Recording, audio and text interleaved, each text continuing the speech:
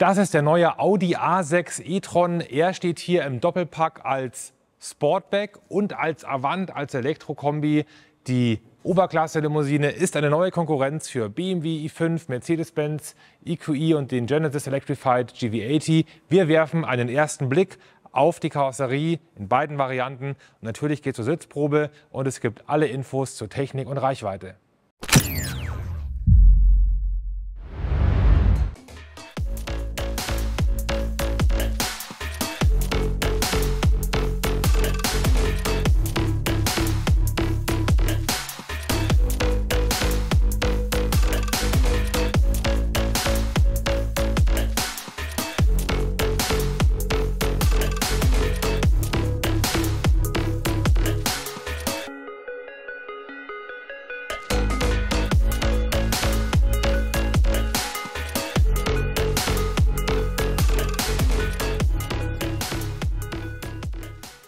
Deutschland dürfte auch in der elektrischen Oberklasse der Kombi der Avant die wichtigere Rolle spielen. Keine Sorge, um den kümmern wir uns gleich, aber wollen natürlich auch ihm hier die Bühne geben. Das ist der neue Audi A6 e-tron Sportback. Beide Karosserievarianten sind 4,93 Meter lang, damit minimal kürzer als der Audi A6 mit Verbrennungsmotoren. Dafür ist das Auto ein bisschen höher und ein bisschen breiter. Man kann sich schon denken, warum die Höhe zugenommen hat. Es gibt einen Akku im Fahrzeugboden. Erklären wir aber, bevor es ums Design und die Technik geht, mal ganz kurz die Einordnung in der Modellpalette.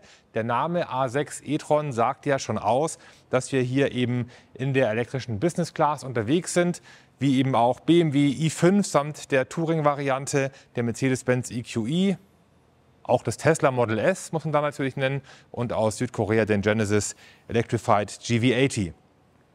Gleichzeitig hat Audi ja angekündigt, dass in Zukunft die Modellreihen in, in der Bezeichnung getrennt werden. Der Audi A4 wurde zum A5, der nächste Audi A6 wird dann zum A7 werden. Die ungeraden Zahlen bekommen die Verbrennermodelle, auch als Plug-in-Hybride, und die geraden Zahlen stehen für die vollelektrischen Varianten, also die e-tron-Modelle, so heißen sie eben im Moment noch, weil wir beim A6 einfach die Unterscheidung haben zwischen dem Verbrenner A6 und dem A6 e-tron dann eben. Gehen wir mal an die Front und fangen an, über das Design ein bisschen zu sprechen, ohne natürlich jetzt zu sehr zu erzählen, was man alles sieht. Aber es gibt hier schon ein paar Dinge, die bemerkenswert sind. Auch die vollelektrischen Audis tragen den Single Frame, aber nicht als Rahmen um einen Kühlergrill, sondern das ist dann hier eine weitestgehend geschlossene Frontmaske mit steuerbaren Elementen für den Kühlluftbedarf des Antriebs, den so ein Elektroauto ja auch hat. Und dann sehen wir hier geteilte Leuchteinheiten. Einmal die Hauptscheinwerfer unten, optional mit Matrix-LED-Technologie und dann oben Tagfahrlicht und Blinker in acht per Display konfigurierbaren Lichtsignaturen. Da kann man sich das dann also aussuchen, wie man das gerne hätte. Die Plattform, auf der der Audi A6 e-tron steht, heißt PPE Premium Platform Electric und das ist die gleiche technische Basis, wie sie auch beim Audi Q6 e-tron, beim SUV-Modell und beim Porsche Macan verwendet wird. Hier jetzt eben erstmals in einem flacher bauenden Auto, einer Limousine oder einem Sportback, um im Sprech zu bleiben, und im Avant. Das Frontdesign haben wir uns angesehen. Im Profil gibt es auch etwas Interessantes zu entdecken, nämlich diese schwarze Blende. Und die soll zusammen mit diesen Sensorabdeckungen in der Frontschürze bewusst Technik optisch erlebbar machen. Das heißt, hier wird der Akku im Fahrzeugboden dargestellt. Gleichzeitig kann natürlich hier dann auch diese farbliche Unterscheidung ein bisschen dafür sorgen, dass die große Blechfläche in ihrer Höhe optisch reduziert wird. Ein interessantes Detail ist, wie ich finde, die Fortführung dieses Elements dann hier im Heckstoßfänger und das sieht so in der Seitenansicht, wie ich finde, ganz gut aus, streckt das Auto optisch noch mal ein wenig. Als Option wird es digitale Außenspiegel mit Kameras statt Spiegeln geben. Da sehen wir uns dann auch gleich im Innenraum die Position der Displays an. Die haben ja im Audi e-tron, der dann zum Q8 e-tron wurde, ein bisschen für Kritik gesorgt. Hier gibt es eine Neuerung. Neu sind auch diese eingelassenen Türgriffe, wo man dann hier reingreifen muss zum Öffnen. Das ist ergonomisch nicht ganz optimal, aber natürlich auch der Aerodynamik geschuldet. Aerodynamik ist natürlich ein wichtiges Thema bei einem Elektroauto und das gilt auch für die Reichweite. Hier haben wir den Sportback. Da den Avant und die Entscheidung, welche Karosserievariante man wählt, ist vielleicht von dem Zusatzplus an Raum und Variabilität gekoppelt, an optischen Gründen oder an der Reichweite, denn die Kombi-Karosserie ist natürlich aerodynamisch nicht ganz so ausgefeilt wie der Sportback mit einem CW-Wert, einem Luftwiderstandsbeiwert von 0,21 und damit ist er schon echt ganz weit vorn dabei. Der Kombi ist mit 0,24 minimal nicht ganz so gut und hat in der Tat 30 Kilometer oder 25 bis 30 Kilometer weniger Normreichweite. Bis zu 750 Kilometer sind es beim Sportback, bis zu 720 Kilometer beim Avant. Das hängt dann natürlich auch von der Antriebskonfiguration ab. Die Modelle zum Marktstart haben im Fahrzeugboden einen Brutto 100 und netto nutzbar bisschen über 94 Kilowattstunden großen Lithium-Ionen-Akku.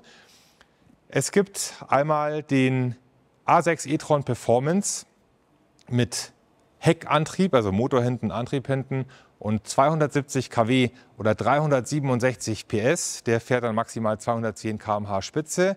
Und auch zum Marktstart verfügbar der S6 e-tron mit Allradantrieb, 370 kW, 503 PS umgerechnet und der soll in 3,9 Sekunden aus dem Stand auf 100 km/h schnalzen und bis zu 240 km/h schnell werden.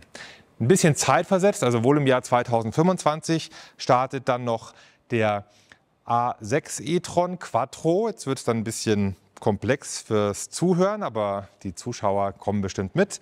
Das ist dann ein Fahrzeug auf Basis des aktuellen Performance-Modells mit Heckantrieb, hat einen zusätzlichen Motor an der Vorderachse mit 140 kW und die Systemleistung liegt bei 315 kW.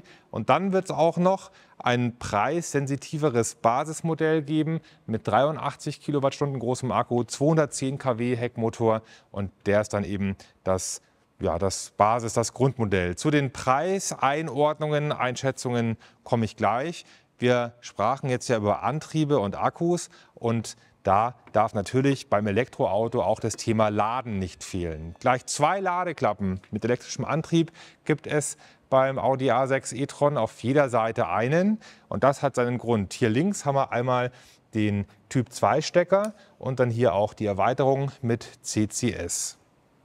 Dank einer 800 Volt Technologie kann über den CCS-Anschluss mit bis zu 270 kW geladen werden und das bedeutet, in 21 Minuten kann ich den Akkufüllstand von 10 auf 80 Prozent hieven. Oder wenn man es mal so im Alltag umrechnet, dann heißt das, in 10 Minuten kann ich Strom für 310 Kilometer Reichweite laden. Auf der rechten Seite haben wir eine weitere Ladeklappe. Wenn man die öffnet, dann zeigt sich hier nur ein Typ-2-Stecker. 11 kW dreiphasig wird Wechselstrom auf beiden Seiten geladen. Es ist auch ein optionaler 22 kW Onboard-Charger in Vorbereitung. Warum macht man jetzt das mit diesen zwei Seiten und diese Unterscheidung? Das hat natürlich einen ganz einfachen Grund.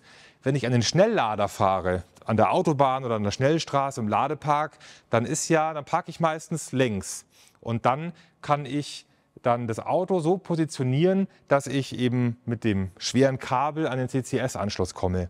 Wenn ich jetzt aber entweder in der heimischen Garage oder unter dem Carport stehe, dann kann es sein, dass die Wallbox hier oder dort hängt. Oder ich parke am Straßenrand und möchte dann eine Ladesäule nutzen. Dann möchte ich nicht auf der verkehrszugewandten Seite mit dem Kabel hantieren. Und dann kann ich hier eben auf jeden Fall rechts das Typ 2 Kabel einstecken. Und das ist natürlich schon ganz smart, ganz gut mitgedacht. Kommen wir vom Laden zum Thema Laden nämlich zum Thema Kofferraum und machen den kleinen Umweg über einen Haken am Heck. Den wird es als Option geben.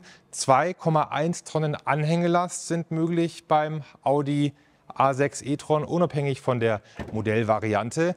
Das ist natürlich für ein E-Auto schon ein ordentlicher Wert. Das Kofferraumvolumen beträgt 502 Liter. nach dem Öffnen der elektrischen großen Heckklappe des Sportback. Und dann sehen wir hier den Eingang in den Kofferraum über so eine fingertiefe Stufe. Dann haben wir hier den doppelten Ladeboden. Wenn ich den anhebe, dann sehen wir jetzt hier das Ladekabel liegen. Und an der Seite freut man sich über Teppichverkleidung, also keine kratzempfindlichen Kunststoffe, ein Ablagenetz und Haken, um Einkaufstaschen aufzuhängen. Wenn ich die Lehne der Vordersitze nach vorne umklappe, dann entsteht ein bis zu 1330 Liter großer Laderaum beim Sportback. Ich habe eben gesagt, der Avant, der bringt so ein bisschen ein Plus an Variabilität und ein Plus an Laderaum mit. Natürlich bedingt durch den steileren Heckabschluss, der so steil aber gar nicht wirkt, weil die C-Säule ziemlich flach gestaltet ist und mit diesem schwarzen Element wird es dann hier ein bisschen kaschiert und damit soll er, so sagen die Designer, auch den Audi 100 Avant, der im Jahr 1982, 83 seine Premiere hatte, ein Stück weit zitieren.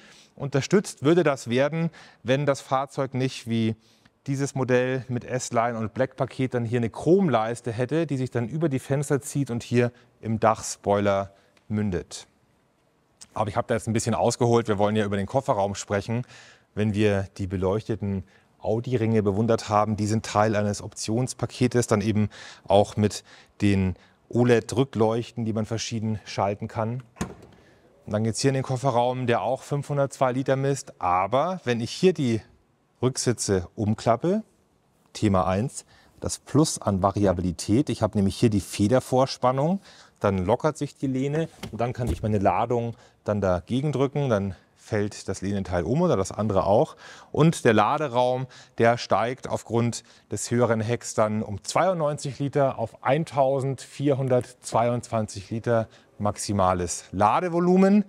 Klar, da lacht jetzt vielleicht der E-Klasse Fahrer oder der Skoda Superb-Fahrer, aber wir haben hier einen dann doch durchaus geräumigen Elektro-Premium-Kombi und davon gibt es eben im Moment auch noch nicht so viele.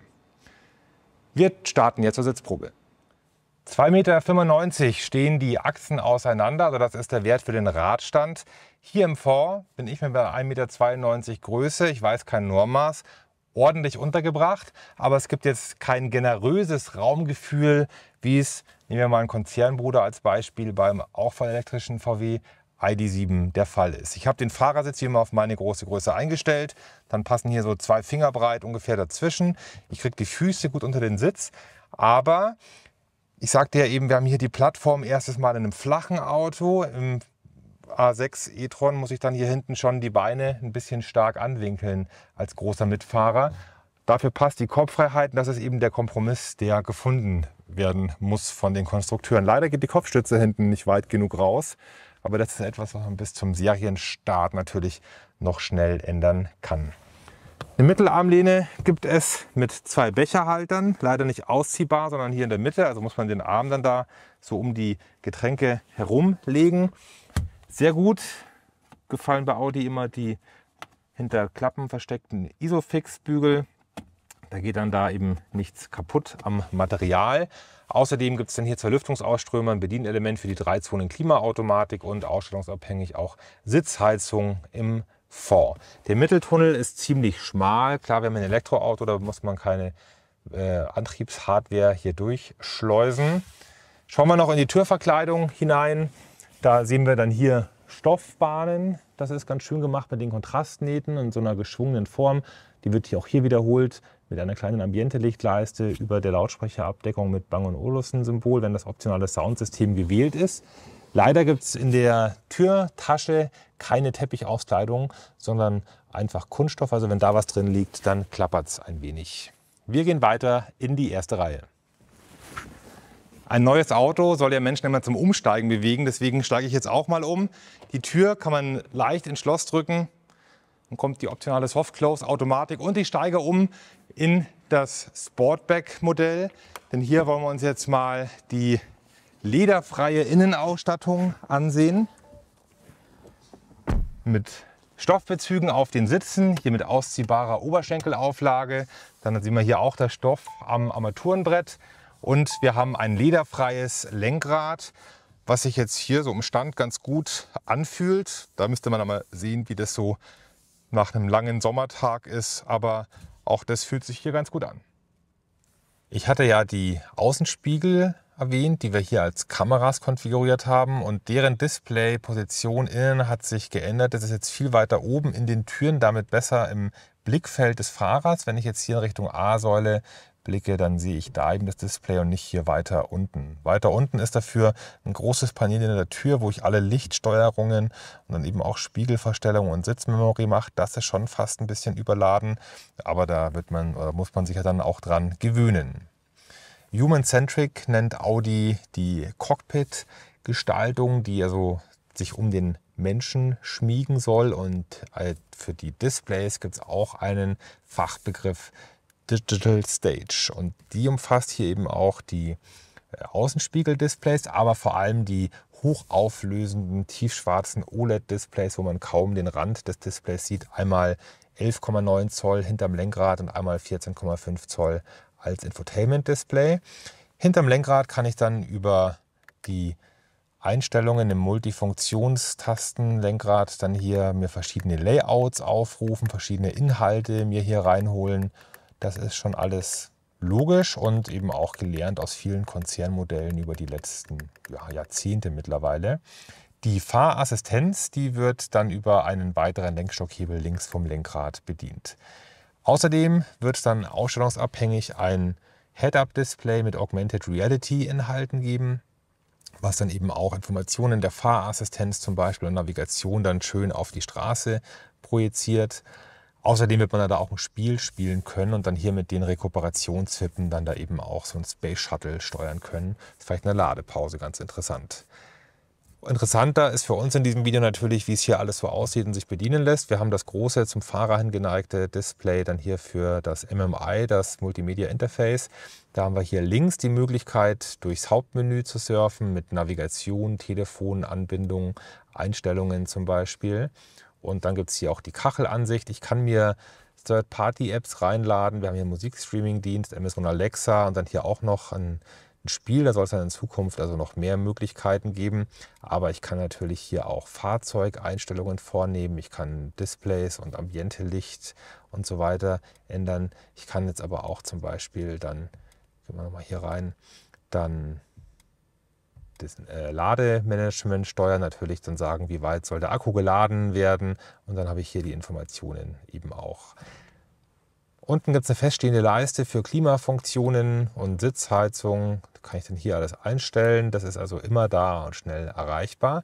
Außerdem wird es als Option ein Beifahrerdisplay geben mit 10,9 Zoll Bildschirmdiagonale. Da kann man dann hier also auch sagen, man möchte zum Beispiel die Navigation ändern, Ziel eingeben oder Zwischenstopps. Ich kann aber dann auch hier das Entertainment-Programm verwalten oder mir perspektivisch zum Beispiel auch einen Film ansehen. Und dann gibt es so einen Active Privacy Mode, also der Fahrer sieht dann während der Fahrt nicht, was passiert da und äh, ist dann da wenig abgelenkt. Zum Start läuft aber die Audiospur noch über das Soundsystem im Auto. Das heißt, der Fahrer könnte den Film hören, aber nicht sehen. Aber da soll dann bald Abhilfe geschafft werden, dass man also über eine spezielle Bluetooth-Verbindung dann hier mit dem Kopfhörer das zum Beispiel sehen und auch hören kann und der Fahrer dann davon eben nicht behelligt wird. Lüftungsausströmer mit verstellbarer Richtung gibt es hier. Also das ist alles nicht elektronisch geregelt und an manchen vielleicht doch irgendwie zu zugig oder zu weit oben, zu weit unten. Das finde ich ja ganz gut. Da müsste man auch nicht viel mehr rein engineieren. Zwei USB-C-Anschlüsse haben wir und einen 12-Volt-Anschluss. Hier sogar, was es auch noch gibt im Elektro-Audi, ein Raucherpaket als Option. Also hier haben wir dann den Zigarettenanzünder und einen Aschenbecher. Davor lädt das Smartphone induktiv mit so einer Klammer und dann haben wir hier eine Mittelkonsole mit Becherhaltern unter einer Jalousie, dem Drehregler für die Audiolautstärke und zum Ändern von Musikstück oder Radiosender. Außerdem hier den Knubbel zum Einlegen der Fahrstufe und den Startknopf für den Antrieb. Das können wir leider heute noch nicht machen. Wir können also den A6 e-tron noch nicht Probe fahren, aber wir können schon mal die Preise ein bisschen einordnen. Ab Spätsommer 2024 wird der Audi A6 e-tron bestellbar sein. Zu dem Zeitpunkt, als dieses Video entsteht, wir durften ein bisschen früher ran, sind die Preise noch nicht bekannt, aber wir können mal so eine Einschätzung geben. der Performance, also das Modell mit 270 kW Peakleistung, soll bei ungefähr 75.000 Euro starten. Der Avant dürfte dann eben den bekannten Kombi-Aufschlag dazu rechnen. Und damit liegt er schon auf selbstbewusstem Niveau. Der BMW i5 als eDrive 40 startet bei 70.200 Euro als Limousine. Der Touring ist dann 2.000 Euro teurer. Und nehmen wir mal den Genesis GV80 auch mit rein als asiatischen Mitbewerber. Der startet bei knapp 74.000 Euro. Außerdem gibt es zum Start den S6. Der soll knapp unter 100.000 Euro liegen mit seinem 370 kW starken Antrieb. Und wenn dann die ganze Modellpalette bereitsteht, eben auch mit dem angesprochenen Basismodell mit dem kleineren Akku, dann soll sich der Einstiegspreis in die A6 e-tron Baureihe bei 60.000 bis 65.000 Euro bewegen. Das ist natürlich dann schon ein bisschen nahbarer. Vielen Dank fürs Zusehen bei diesem ersten Check des neuen Elektro-Audi in der Oberklasse als Sportback und als Avant. Ich bin natürlich jetzt neugierig. Welche dieser beiden Varianten gefällt euch besser? Oder würdet ihr eh sagen, na, ich nehme lieber den i5 oder den Mercedes oder den Genesis oder einen Verbrenner-Audi, wie auch immer. Ich freue mich auf alle Kommentare, Meinungen, Fragen und was ihr sonst noch loswerden wollt. Ich werde alles lesen und versuchen, auf das meiste zu antworten. Mehr zum Audi A6 e-tron gibt es, du ahnst es schon, bei autonotizen.de. Das verlinke ich unten. Außerdem findest du in der Videobeschreibung die Links einmal zur Playlist mit allen Audi-Videos und zur Playlist mit allen E-Auto-Videos hier auf dem Kanal. Vielen Dank fürs Zusehen. Vielen Dank, Anni Matthias, fürs Filmen und bis bald. Ciao.